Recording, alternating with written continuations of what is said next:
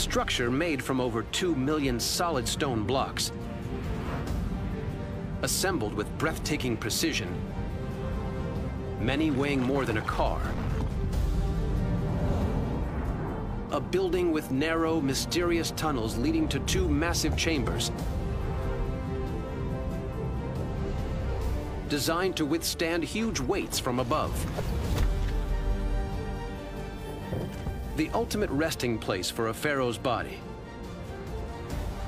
How and why did the ancients build this six million ton Goliath in the sands of the Egyptian desert? To meet their deadline, they had to cut and lay more than 200 blocks a day, which is why they cheated.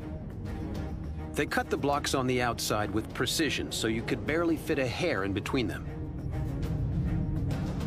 But just a few layers further in, things change. Here, the blocks are much less accurate with big gaps between them. Putting quick and dirty blocks on the inside and pretty ones on the outside saved the Egyptians many millions of man-hours. The key to building the pyramid as fast as humanly possible.